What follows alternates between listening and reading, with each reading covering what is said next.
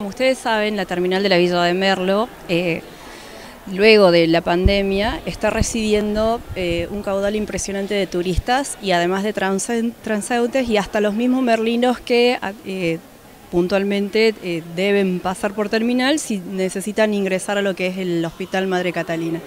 Es súper importante para nosotros eh, en todas las áreas que estamos cubriendo dentro de la terminal. Súper importante este, este curso, esta capacitación.